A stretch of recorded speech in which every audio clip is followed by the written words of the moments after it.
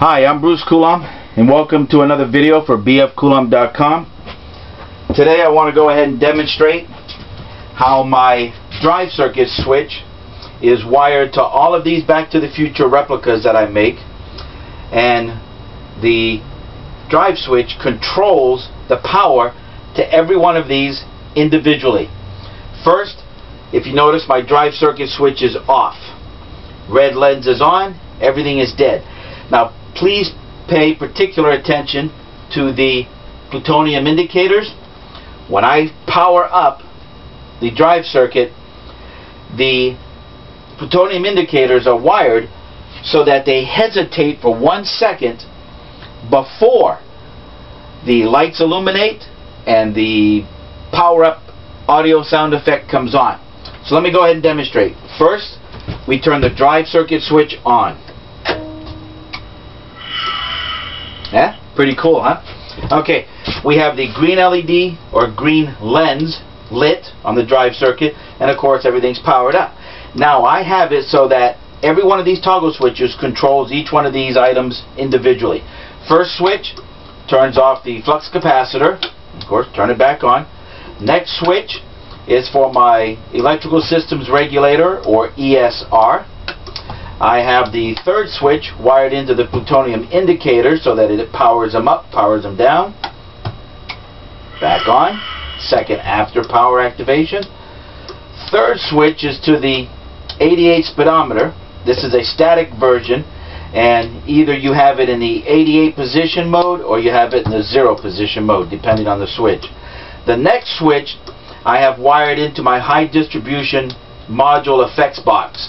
Now this box has four individual channels of pre-recorded sound effects. You choose which ones you want on there when you order the box from me and we can put on either the doors opening, doors closing, or Doc's famous words of uh, when this baby hits 88. Almost anything for the movie. If you have the uh, sound wave, I can go ahead and put it on there, or you can use one of my own. Okay, so let me flip the switch. Let's try that again. Okay. Next switch is wired into the plutonium indicator's empty light. When I flip this switch on, the empty light will flash and start to beep.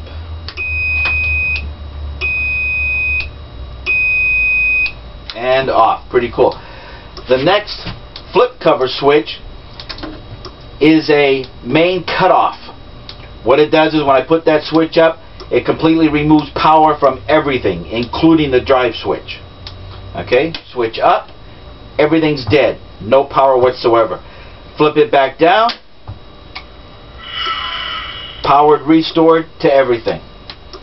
Okay, that's pretty much it. I just wanted to go ahead and let everybody see how when you purchase my drive circuit switch, it comes completely and fully wired, ready to go, so that all you have to do is take your Back to the Future replicas, wire them into the back of my switch, and it will control everything.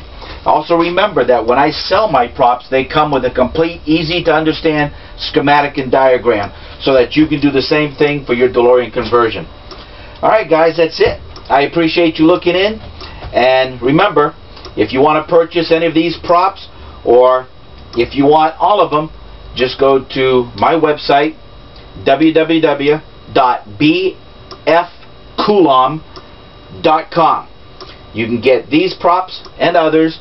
Also, don't forget to ask for Doc's garage sale special and I'll cut you really a great discount price if you purchase all of my interior items at once. Alright, see you next time. Have a good one. Thanks for looking in.